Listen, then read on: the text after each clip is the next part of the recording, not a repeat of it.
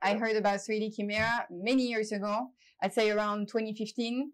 For my studio, I needed uh, somebody to, to 3D print in Miami. And at that time, it was not many companies. It was not yet the trend in the US. And uh, 3D Chimera is the first uh, company I tried. And I've been following with them for so seven years now.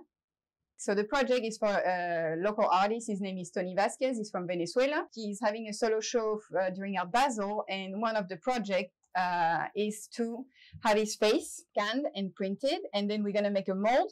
And out of this, he's gonna create like a decanter where the piece is gonna melt and get received in, in the negative part in the bottom. It's a little intricate, but uh, once you see the final result, you will understand.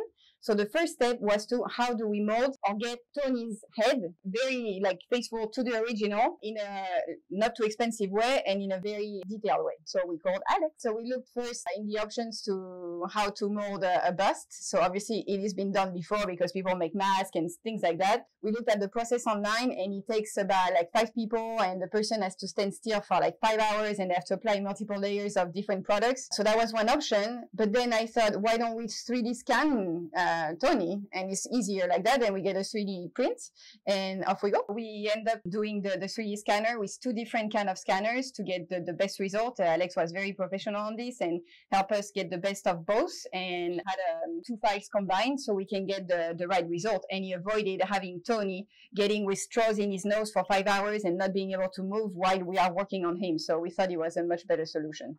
I'm very satisfied so far. Everything has come out the way we wanted. Uh, every time, you know, we never know how project you have an idea of things, how they're going to go. And then you see the final result. And sometimes we have to take some detours, but so far we are very happy. Look at this beautiful piece.